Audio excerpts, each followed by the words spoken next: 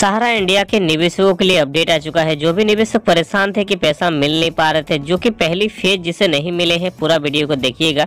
और जिसका पहली फ़ेज़ मिल चुका है, आप परेशान है कि सहारा इंडिया रिफंड पोर्टल पर हमें सेकंड फ़ेज़ या फिर थर्ड फ़ेज़ कब तक दिया जाएगा? लेकिन आपको ये भी बता दूँ कि री सबमिशन यानी कि जो भी सुधार के लिए आवेदन किए हैं री सबमिशन किए हैं, अगर आपका पोर्टल में अभी तक री सबमिशन सबमिट में अगर आपका जो कि अभी तक जो कि जो फ़ेज़ है थर्ड फ़ेज़ के लिए इंतज़ार कर रहे हैं तो बिल्कुल आपको जो कि अच्छी खबर मिलने वाले हैं, फरवरी महीना में ही आपका जो है थर्ड फ़ेज़ अपडेट कर दिया जाएगा। थर्ड फ़ेज़ में राशि कितना बनेंगे आपको बताइए? पचास हज़ार राशि बनेंगे, है ना? तो पचास हज़ार राशि आपको थर्ड फ़ेज़ में देखने के लिए मिल जाएँगे। और सहारा इंडिया में जो भी निवेशक परेशान है, अभी पहली फ़ेज़ नहीं मिला है राशि, मेरा जमा राशि इतना है इतना है।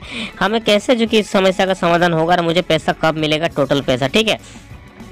तो देखिए, यहाँ पर मैं आपको बता दूँ, सरकार जो कि एक सौ अड़तीस करोड़ रुपए का बजट जो कि तैयार किया गया है और कंपनियों के अनुसार रिफंड पोर्टल पर पहली किस्त जल्द ही जारी की जाएगी। बहुत सारे ऐसे निवेशक हैं जिसका पैसा जो है अभी तक पहली फ़ेज़ में नहीं मिला है, ठीक है? तो ऐसे में देखिए, बिल्कुल परेशान होने की कोई आवश्यकता नहीं है। पाँच हज़ार करोड़ जो कि रिफंड पोर्टल पर जो जारी किया गया था, नौ महीने के अंदर पेमेंट दिया जाने का जो वादा किया गया था सुप्रीम कोर्ट का आदेश जो कि आप जो कि पढ़ भी सकते हैं रिफंड पोर्टल पर भी आपको देखने के लिए मिल जाएँगे। तो वहाँ पर नौ महीने का समय दिया गया था और ऐसा कुछ भी नहीं है कि मैच्योरिटी वालों को ही मिलेगा, ऐसा कुछ नहीं है, ठीक है?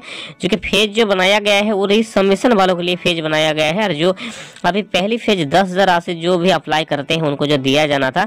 और बहुत सारे निवेशकों को मिल भी चुके हैं, जिसका कमियाँ रिजेक्ट नहीं किया गया था, उनको मिल भी चुके हैं और जिसका रिजेक्ट कमियाँ के कारण किया गया है, उनका भी रिसबमिशन में फ़ेज़ बाय फ़ेज़ जो कि पैसा ट्रांसफ़र किया जा रहा है, ठीक है?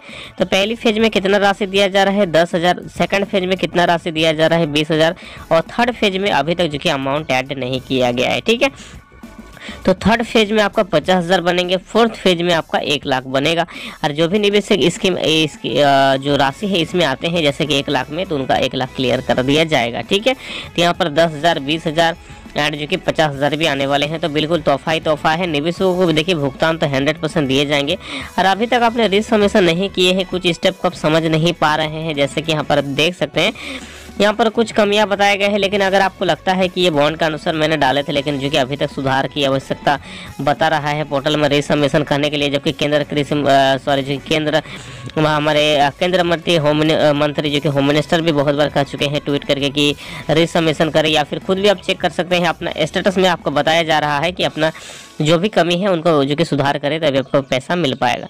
तो सुधार करना बहुत आसान है। अगर आप नहीं किए हैं तो जल्दी से कर लेना है, क्योंकि अगर आप सुधार नहीं करते हैं तो फिर आपका पैसा नहीं मिलेगा, ठीक है?